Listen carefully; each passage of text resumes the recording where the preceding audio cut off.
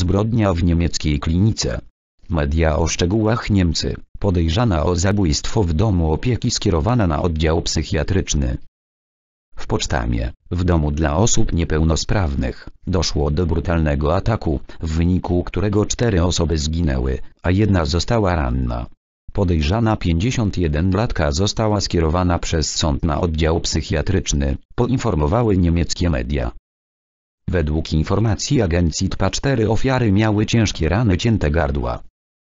Według gazet, Markische Allgemeine, Potsdamerne Westen Nachrichten i Bild, podejrzana miała po powrocie do domu powiedzieć o swojej zbrodni mężowi, który następnie poinformował policję. Prokurator nie chciał tego potwierdzić. Ofiary były pensjonariuszami domu opieki jak podała diakonia Oberlin House. W środę wieczorem około godziny 21.30 w domu Thusnelda von Saldern w Pocztamie znaleziono czterech martwych i jednego ciężko rannego mieszkańca tego ośrodka. Ofiary były pensjonariuszami placówki od lat, dwie z nich mieszkały tam od dzieciństwa. Według policji zabitych i ciężko rannych znaleziono w różnych pomieszczeniach. Premier Brandenburgii Dietmar Wojtke powiedział, że jest wstrząśnięty wydarzeniami w Pocztamie i złożył wyrazy współczucia rodzinom, podobnie jak minister spraw wewnętrznych landu Michael Stwebgen.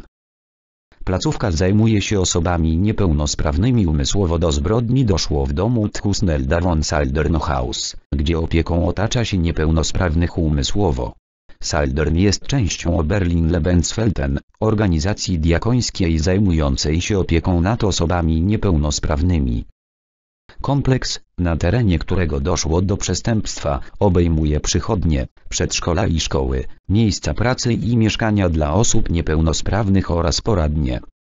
Stowarzyszenie Oberlin House określa się na swojej stronie internetowej jako diakonalne Centrum Kompetencji w zakresie uczestnictwa, zdrowia, edukacji i pracy w regionie Berlin-Brandenburgia.